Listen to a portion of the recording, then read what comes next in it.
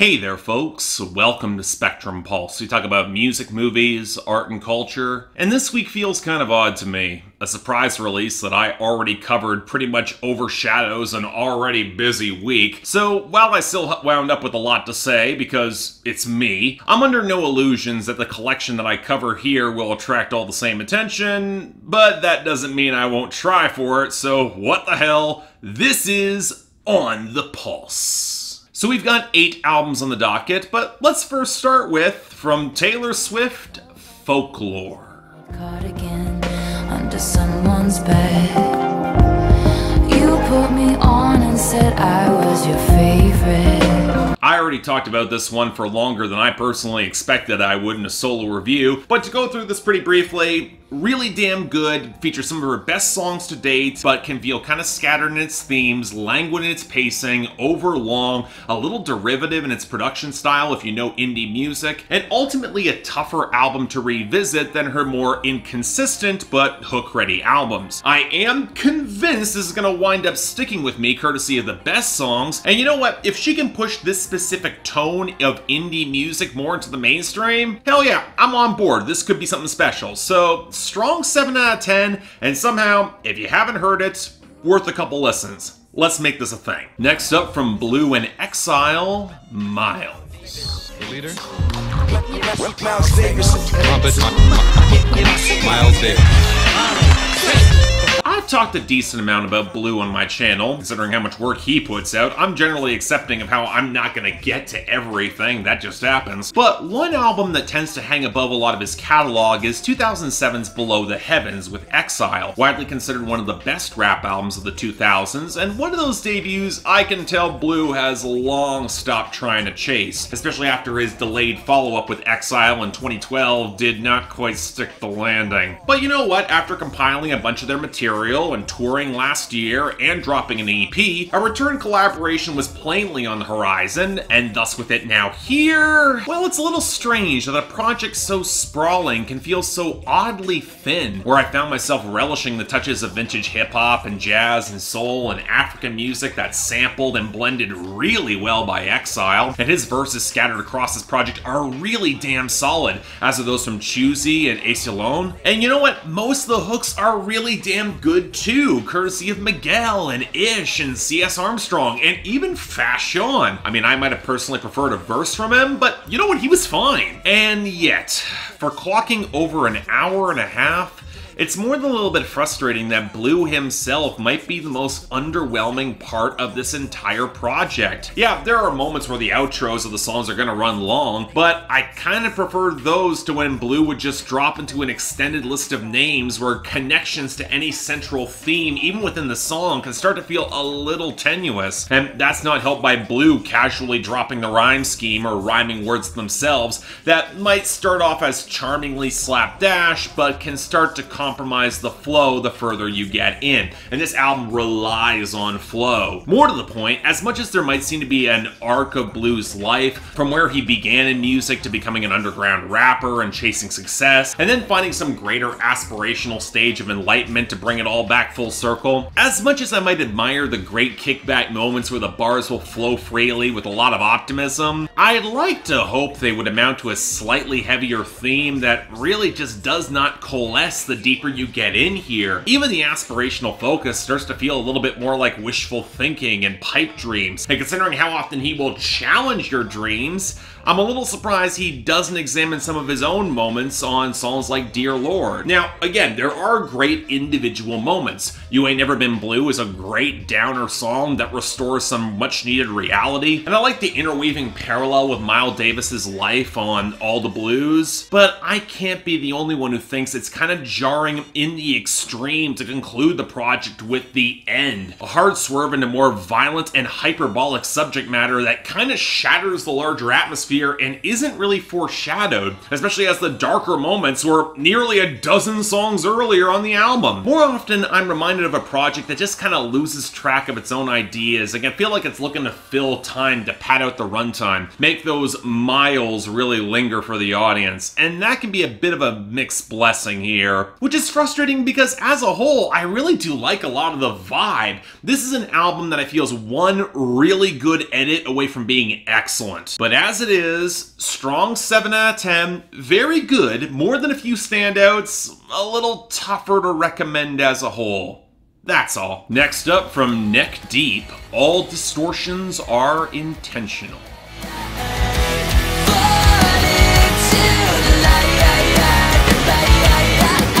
This is the sort of band that is built for On the Pulse. A relatively solid pop punk act that wins me over if the writing or hooks punch above the weight class, but for the most part can be summarized by, well, if you like this sound, you've heard it hundreds of times before, you'll probably like this. Now granted, 1970-something wound up as a deceptively killer pop punk ballad and one of my favorite songs of 2017, so I was really open to this being great, but I'm not surprised that it wound up being pretty forgettable at best. I mean, can I even give them that much credit for polishing up the production when they still shove in a lot of unnecessary drum machines and seem to forget what a bass frequency even is across the album? Pop punk can be kind of hit and miss in this department as it is, but way to leech out so many of your songs of their greatest impact in the low end. Not helped by a particularly snotty Ben Barlow who only sounds thinner on this album. And keep in mind that Neck Deep, they're still writing some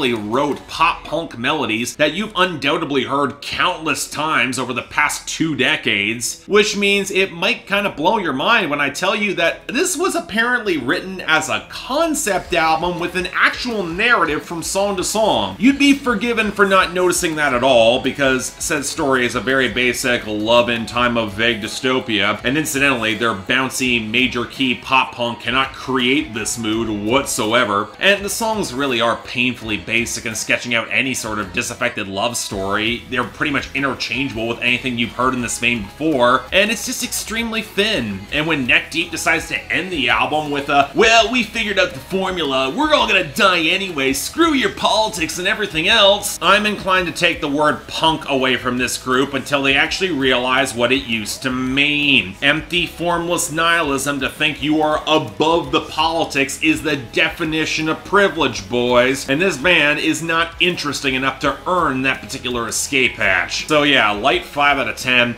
more flatly competent than outright bad, but you will forget this exists by the end of 2020. Just saying. Next up, from Courtney Marie Andrews, Old Flowers. Oh, it must be someone else's fault. Oh, I was worried about this one. I remember catching Honest Life in late 2016 and finding a few brilliant choice songs, and then having my mind blown when in 2018 she expanded the lush richness of her production on May Your Kindness Remain that fit with her huge, expansive voice that always seemed to infuse seemingly simple songs with so much more depth. Now, that album wound up as one of my favorites of that year, and deservingly so, but I also knew exactly how delicate that alchemy was, and potentially stripping back the production to a more minimalist arrangement might expose how her writing and compositions weren't quite as distinct or ahead of the field, and I think that wound up as kind of half true here. Yes, Old Flowers is a step back across the board on production. The tones are more spare, the mix does not have the same richness or warmth, especially in the low end. Even Courtney Marie Andrews' vocal pickups, they sound kind of clunkier and not nearly as well blended, going for more of a live mix, which is about the last thing you want. And that's not even counting in the multi-tracking, which she doesn't need. And why would you diminish your central star's biggest strengths? More than that, usually when we get percussion at all, there are these clunky, somewhat unstable snare drums that echo and seem a lot louder in the mix. They kind of remind me of similar attempts at instability that I've heard before from acts like Sharon Van Etten or Fiona Apple as of recently, but Courtney Marie Andrews' delivery, she's too liquid and full to bounce off them all that well. And all that's a goddamn shame because across the board, the songwriting, it's flat out excellent. A lot of the old flowers she's referring to are the remnants of past relationships, good or ill real, or imagined. And as such, it's the perfect subject matter for how well she can convey so much detail just on delivery alone. And the emotional nuance that she wrings out of so many unspoken moments, it's genuinely impressive. She's that good of a performer, especially when the barriers of time or other relationships will mean that true love isn't likely meant to happen, like on Guilty or How You Get Hurt, my two major standouts on this project. Although I will say Together or Alone probably also fits the bill. And hell, when the mix does fill out a little bit more, like on It Must Be Someone Else's Fault, it's a great slice of willful denial that was a real bright spot on a record that can otherwise feel very slow and very heavy. In other words, you know, I am convinced that these songs could well be great with a different arrangement, or even just production that didn't feel so barren and clunky, which is why I'm giving it a very solid 7 out of 10, and instead of a recommendation, a desperate plea to the universe or production team somehow, or even her, somehow the album gets re-recorded, or at some points we get new versions of these tracks. Because this is really good, it should have been amazing, and I want to hear the versions of these songs where they actually are, because I think that's possible. Next up, from The Naked and Famous, Recover.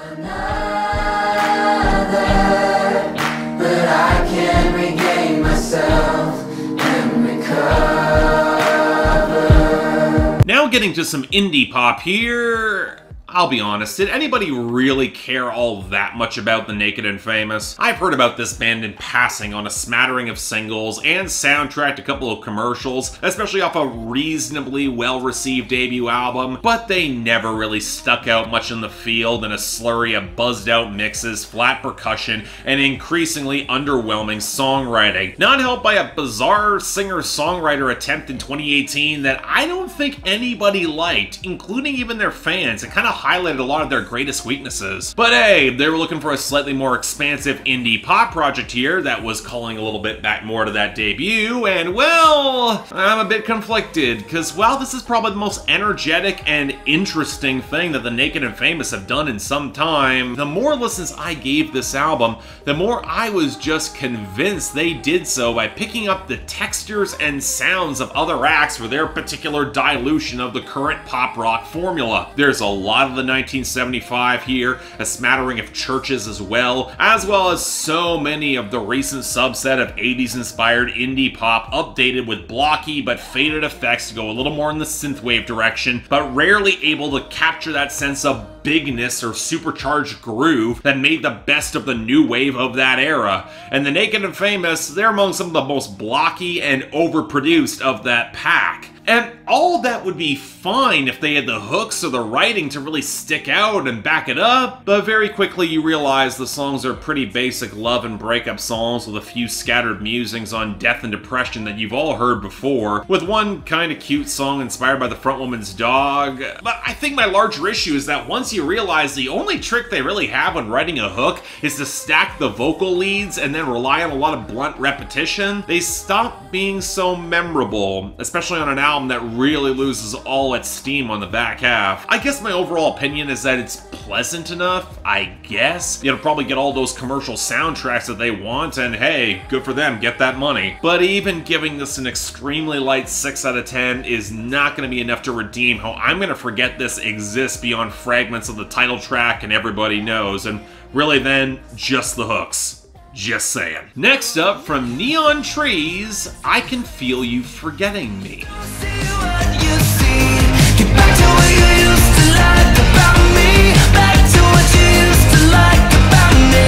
And on the topic of pop rock that's flagrantly imitating the 1975 and maybe even doing it better than they did, okay, look.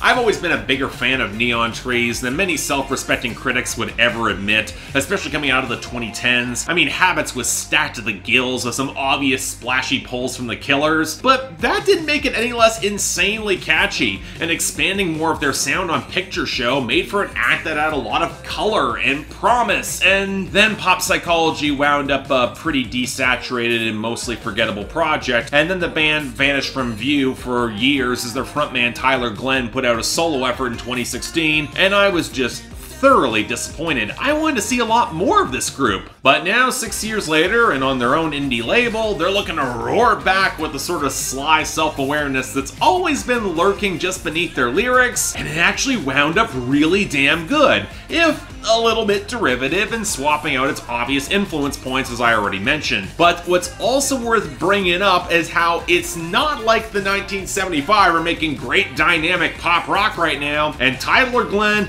he's not the type to step out of the spotlight in the same way Matt Healy did. And I cite that as a major positive, leaning into all the manic, horny energy exploding through every angle of this project lets Neon Trees embrace the technicolor bigness of the best 80s new wave. The stark, splashy synths, the thicker grooves, a punchy blur of gated drums and drum machines that still sound big, and enough guitar texture to not feel completely synthetic, even in some of the more faded synthwave moments on the back half of the album. Now, granted, once you get past some of the truly killer hooks that are front-loaded on this project, all that flash can start to lose some of the punch, which would be where I would go to the content, and here's where I'll actually give Tyler Glenn a lot of credit. In grounding the majority of these songs in what he calls modern ghosting culture, he's not afraid to frame most of these songs as a little bit too desperate, a little too reckless in all their clingy desire for a connection or a hookup, where absolutely none of it's healthy, he knows it, but he's embracing the flailing melodrama of it all. Hell, I almost appreciate how much Tyler Glenn will try to live within the frustration of this particular modern love with all the willful deflection of the world rather than ranting about how social media and technology is bad. And there's a wild charm to all that. Honestly, the album was so much fun and such an unexpected treat that I'm honestly a bit surprised how much I liked it. And thus, you know what? Extremely light 8 out of 10. This was the Neon Trees return I'm so happy we finally got. It does pretty much what you want it to. You should definitely check this out. Next up from Lori McKenna, The Balladeer. Tugging on a just tuning her strings. All the whiskey faded, cigarette blown dreams. She brings herself to her own knees so.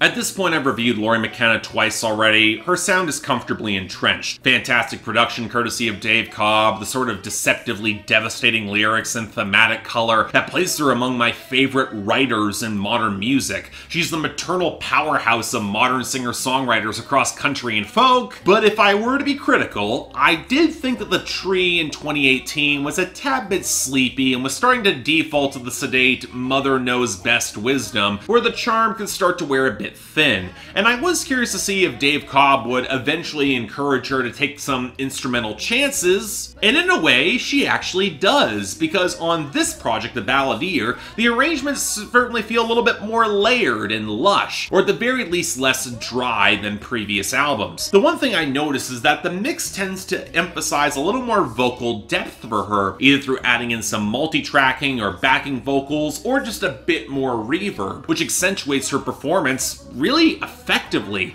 and the harmonies contributed from the women of Little Big Town and her fellow Love Junkies members Liz Rose and Hillary Lindsey. It's a really nice touch, especially in accentuating the natural organic warmth here. So, okay, a richer, more well-balanced mix, better performances overall, and even a slightly more upbeat approach with the Dream featuring an expansive and beautiful outro. This should be another slam dunk for her, right? Well, here's the thing.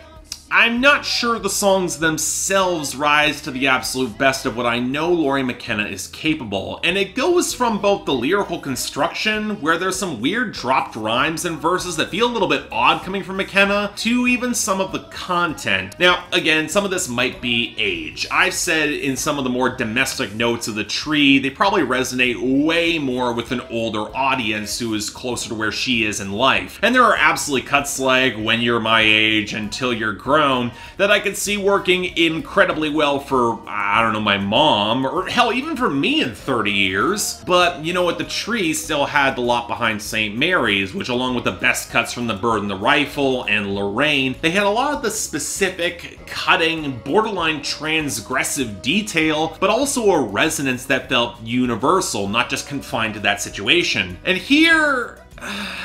I don't know. I'm not sure I'm hearing that same added cutting piece in the same way. Yes, songs like This Town is a Woman and the title track have a lot of powerful detail. They're absolutely great highlights to start the album. And when Lori McKenna can trace through the wistful hypotheticals coached through family life on The Dream and When You're My Age, or even Till You're Grown, which, yes, could come across as an obvious mom advice song if some of it wasn't very cleanly rooted in some real experience. But at the same time, songs like Uphill and Good Fight, they feel a little closer to some lukewarm platitudes, and Stuck in High School feels like We Were Cool, but a bit more slapdash and with a weaker hook. So as a whole, you know what, don't get me wrong, this is still really great, but it feels like this album is very much in Lori McKenna's comfort zone in terms of content, and thus it did fall a bit short of my admittedly extremely high expectations for her. So strong 8 out of 10, absolutely worth hearing, but it's not among her best, even if I really wish it was. And finally, from Logic, no pressure. If I live, you ain't nobody. Hit the studio with no ID, make a couple platinum records in that bitch, and then I dip about it. I'm normally pretty skeptical whenever an artist tries to say they're retiring. Normally it's just a factor of them taking a break. They'll be back to releasing projects sooner rather than later. It happens all the time. But listening to this Logic album, if there is someone who is retiring, not just on something of a high note, but also because he might be out of things that he wants to say, and it doesn't hurt that he got handed an obscene amount of money for Twitch to chase something different, I would accept that coming out of him. It makes sense. It certainly is the feel of him being mostly out of ideas and just minding his own brief moment of legacy to crystallize something to send it all off, getting No I.D. back on some of the production and as an executive producer, sketching out a quasi-recursive narrative with Under Pressure, which to me remains his best album, and yet it's probably not a good sign that, once again, there's a lot of his flow and cadence here that is strikingly reminiscent of J. Cole, Kanye West, and Kendrick Lamar, and leaves me thinking for a technician MC who is nevertheless so derivative, why didn't he drill into the few moments of distinctive originality that made Under Pressure's best moments for him as a rapper? I get doing an homage here, but come on, this should be about you. It's your retirement. Now, granted, a lot of this came through in his concluded Young Sinatra series with a showmanship of which you can tell he's kind of tired. But when his idol Eminem bragged complained about the pressures of fame and money not always making you happy, there was a wry flair or intensity to it that Logic once again tries to frame as being deeper than it actually is, nor does it allow you to overlook some of his rampant hypocrisy. No logic, you did not continuously go against the grain, especially in the past five years. That's how you got all that money in the first place. That's giving you the platform to say none of it made you happy now. Or to put it another way, when the most striking commentary comes from a few Orson Welles samples, the final song here ending on an excellent full monologue from a legend, it leaves me really questioning what Logic has really contributed to this project that cuts more deeply, especially as he also tries to use this album to wrap up parts of the storyline from the incredible true story, and it somehow even has less impact than when he referenced it on multiple albums the past couple of years. And you know what? I can say all that while still acknowledging it's probably his most consistent and otherwise likable project since Young Sinatra 4. A lot of this aided by some textured, soulful samples and dusty percussion. I've said in the past, I don't want to hear Logic on trap beats, and this album is proof that he's better over something that's a bit more old school and less trend chasing. Hell, I could even appreciate most of the callbacks, but by the end of the album, I was left on a note of anticlimax. It's going out on a high note, but it could have been a higher note. So yeah, it's a strong 6 out of 10 to end things out. Logic might have moved on, but I do question how much of what he's brought to the game will really stick. Or if in five or so years, he'll be missed. Presuming that retirement actually happens long term. But yeah, thanks a lot for watching. If you'd like to like and subscribe, I'd be more than grateful. I can imagine I said a few controversial things here, but overall I was more positive than I expected. Beyond that, hey, if you guys want to actually get involved and help support the channel, link to my Patreon is right over here. Please don't feel any obligation to do so. I saw the economic numbers. It's tough for everybody right now, but hey, if you'd like to, opportunity is available. Beyond that, hey, if you got comments about everything else I'm doing, leave them down there below. Happy to hear from you. Till then, I'm Mark. You're watching On the Pulse on Spectrum Pulse. And I'll see you next time.